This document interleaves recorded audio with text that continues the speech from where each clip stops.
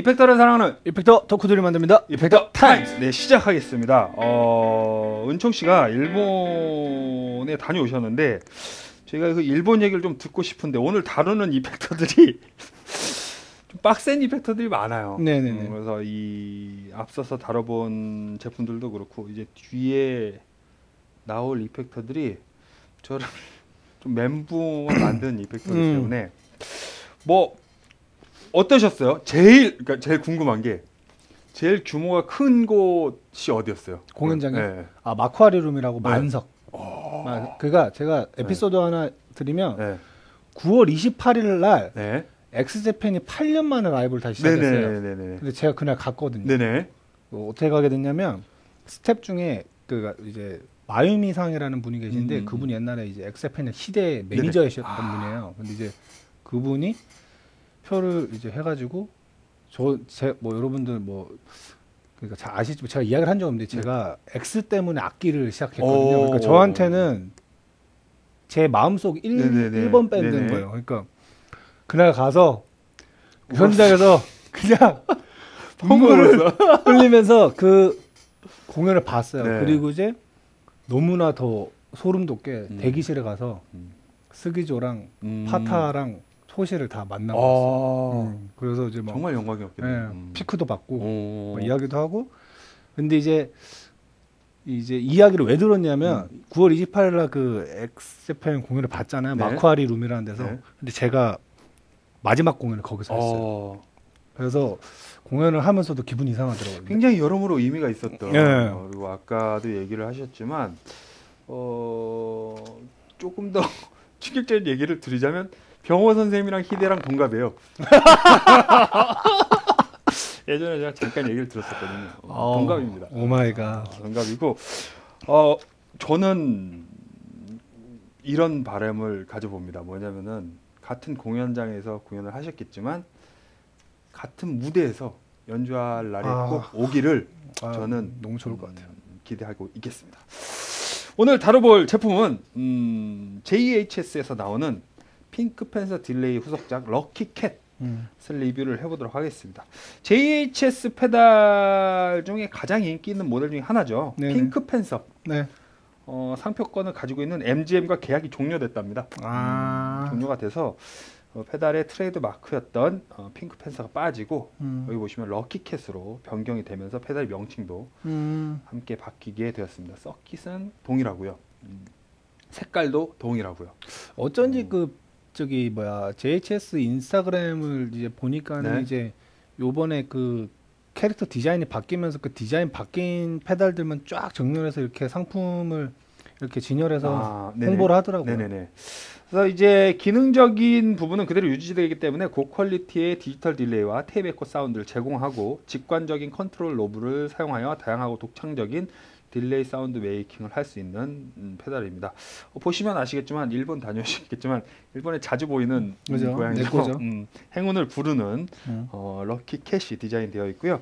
이미 세계적으로 많은 인기고 누, 인기를 누리고 있었던 delay인 만큼 어, 이 두 가지의 모드 변경 그리고 ratio를 사용한 다양한 delay 리듬 변화 음. tail의 톤을 설정하거나 tap tempo까지 다양한 기능을 user가 손쉽게 컨트롤할 수 있도록 디자인된 페달입니다.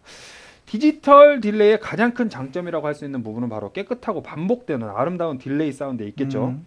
테이프 에코의 가장 큰 장점은 순수하고 빈티지한 매력적인 사운드에 있다라고 생각이 됩니다. 이 Lucky Cat은 이 두 가지 사운드를 전부 필요로 하고 그 수준이 높은 effector를 원하는 네. 음, 플레이어에게 적합한 제품이라고 할 수가 있겠죠. 컨트롤 부분부터 예, 설명을 드리도록 하겠습니다. 저는 9V DC 정전압 어댑터로 전원을 공급을 합니다. 한 개의 인풋과 한 개의 아웃풋, 한 개의 리모트 컨트롤 인풋을 제공을 해서 어, 레드 스위치를 연결해서 또 네. 컨트롤을 할 수가 있습니다. 보시면 타임, delay의 스피드 컨트롤을 합니다.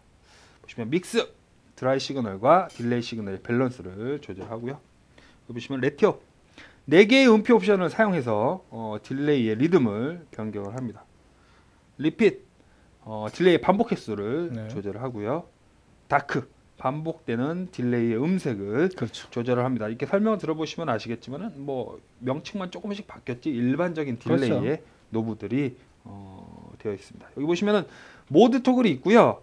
어, 세 가지로 움직이지만 음, 가운데 뒀을 때는 모드 1, 모드 2를 사용하지 않는 음. 순수한 delay 사운드라고 합니다.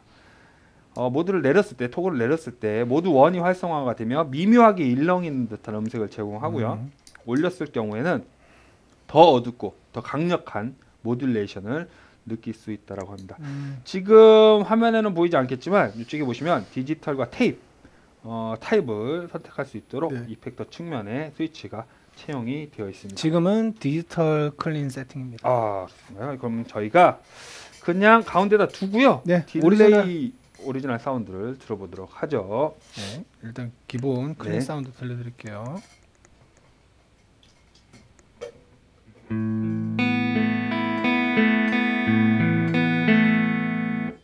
네. 아무 소리도 없죠.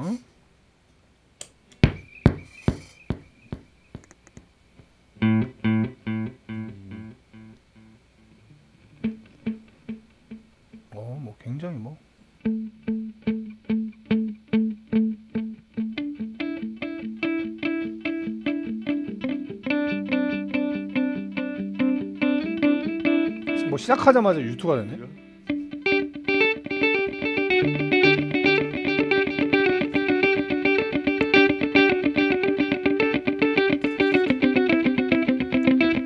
유튜가 그냥 돼요.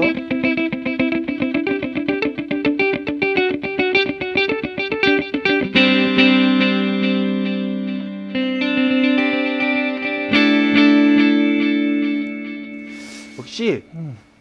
음, 따뜻하고 어, 잘 만드는 브랜드예요. 음. 어, 뭐 이렇게 캐릭터가 바뀌었다고 사운드가 바뀌진 않겠죠. 음, 네. 근데 언제 들어도 어, 감동을 많이 주는 delay 사운드인 것 같아요. 저는 개인적으로 Pink Panther도 굉장히 좋아하지만 음. 어, 감동을 많이 주는 네. 사운드인 것 같습니다. 저희가- 이쁘잖아요, 또 일단. 그렇죠. 어, 믹스를 좀 더 주고요. 네. 타임을 좀 짧게 네. 음, 가보도록 할게요.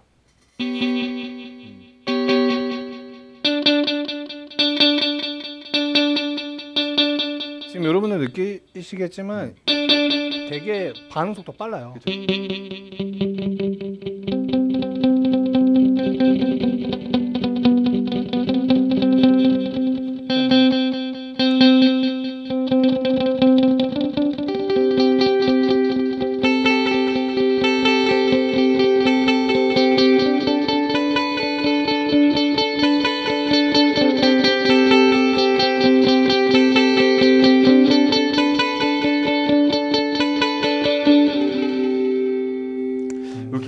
가볼게요.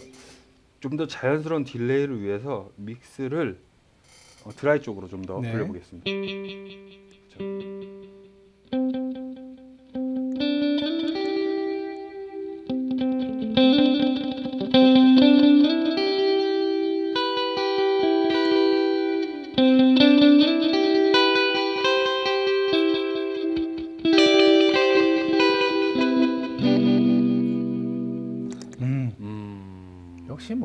디지털 delay로 만들 수 있는 가장 자연스러운 사운드를 연출해주고 있는 네네. delay라고 생각을 합니다. 같은 세팅에서 저희가 아날로그로 한번 네, 바꿔볼까요?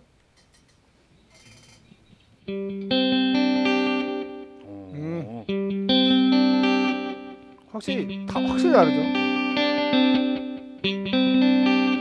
그 차이를 위해서 다시 또 올려볼게요. 되게 브라이트하죠 디지털 소리가 확실히. 여기서 아날로그 떨어지면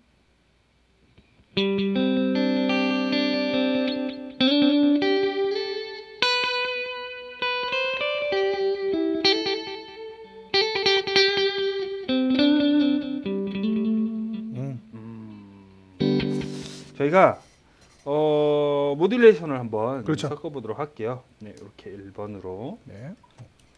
템포를 좀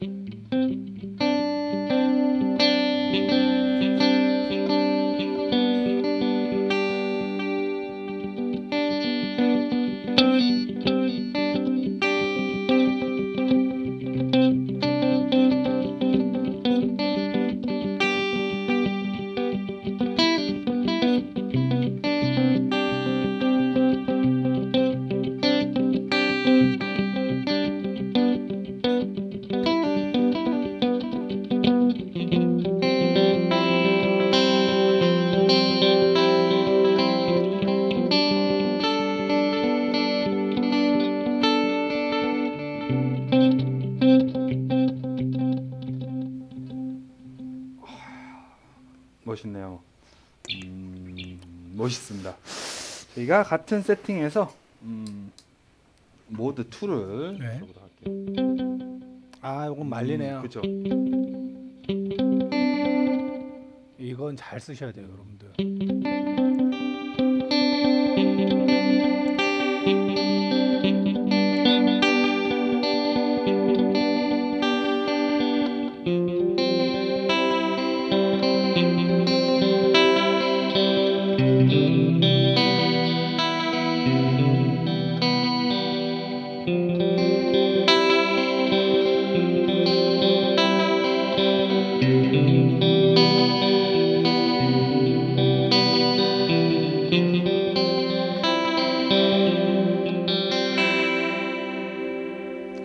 약간 어, delay를 굉장히 좋아하시는 분들인데 음. 어, modulation 계열을 함께 쓰고 싶어 하시는 분들이라든지 음. 아니면은 어, 이 선명한 delay 잔향을 가지고 가지고 싶지만 가지고 가고 싶지만 어, 높은 해상도도 같이 가지고 가고 싶어 하는 연주자들은 필수 아이템인 것 같아요. 음, effector를 많이 쓰면 많이 쓸수록 delay가 뒷단에 들어갔을 때 그 delay 특유의 잔향 자체가 잘 안 들리잖아요. 뭉개져 버리고.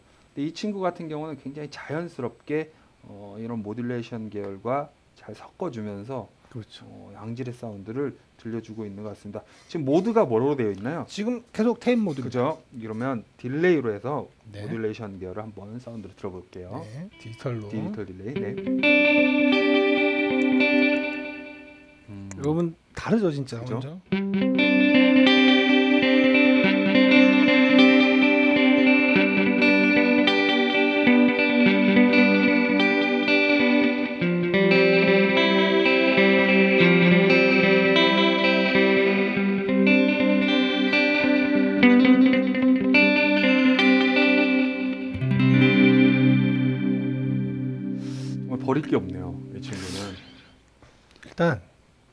제가 느- 그 예전에도 이제 이 친구 이제 ARP87이랑 비교를 이제 했었죠, 하는 우리가. 모델이었는데 네, 네. 이제 그 당시 때는 가격이 음, 음. 10만 원 정도 더 비쌌어요. 네, 네. 근데 그랬어요. 지금은 네. 이제 요, 요 럭키캣으로 바뀌면서 만원 차이밖에 안 그렇죠. 납니다. 어, 왜 그렇게 됐을까요? 핑크 팬서에 로열티가 있었겠죠. 그런 것 음, 같아요. 음. 근데 이제 그때도 아쉬웠던 게 뭐였냐면 와 이게 소리가 해상도가 너무 좋은데 A, ARP87은 정말 저희가 생각해도 기능과 네. 참 여러 가지를 많이 가졌던 모델이었는데 핑크 팬서가 사실 저희가 생각했을 때도 톤이라든가 음. 뭔가 그런 한 수이었죠. 한 수, 네. 반수 정도. 네. 어, 이었죠. 근데 가격이 10만 원이나 그쵸. 차이 났기 음. 때문에 아 아쉽다 생각했었는데 이제는 가격이 비슷하단 말이죠. 그렇죠. 그렇게 되면 이제 이야기가 얘기가 달라집니다. 음. 그래서 지금 이 지금 JHS에서 이 제공하는 이 모드들이 delay로서 가지고 있는 굉장히 그 불필요한 요소들은 다 제거하고 딱 필요한 요소만 그쵸. 갖춰주고 있기 때문에 음. 굉장히 여러분들한테 좋은 선택이 될 수 있는 페달이 되지 않나 일단 그런 그쵸. 생각을 해보네요. 그리고 이렇게 생각을 하시면 될 것 같아요. 좀 더 자기는 dark하고 좀 더 진중한 톤을 좋아한다 그러면 ARP 87 쪽으로 가시는 게 맞으시고 나는 확실히 그냥 깨끗한 음, 그리고 선명한 아름다운 딜레이를 택하고 싶다 하시면 맞아요. 거 없이 예, 럭키캣으로 오시면 될 것 같다는 생각을 네. 합니다. 네, 은총 씨께서 럭키캣을 이용을 해서 사운드를 들려주실 거고요. 네, 사운드를 들어보시고 얘기를 이어나가 보도록 하겠습니다. 네. 네,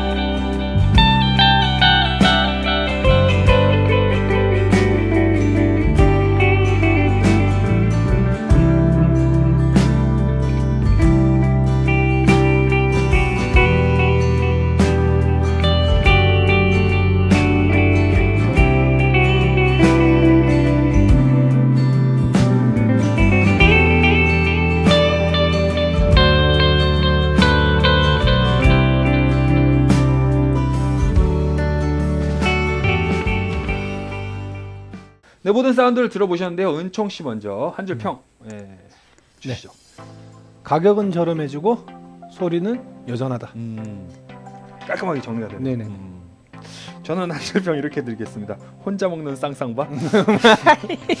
디지털 delay와 tape echo 어, 이렇게 완벽할 수는 없거든요. 음. 두 개를 같이 가져가는 경우에 근데 가장 디지털 delay다운 사운드와 가장 tape echo다운 사운드를 하나에 담았고 어, 그거를 또 이렇게 합리적인 가격에 어, 재출시를 했다라는 거에 굉장히 반감을 많이 느낍니다. 이 점수 한번 예, 네. 보도록 할게요.